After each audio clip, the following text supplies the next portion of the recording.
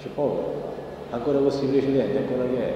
Allora che faccio? Appena ci muove lo mette che vi sto in mano. Tutti, mi ah. ha detto, eh, adesso la taglia.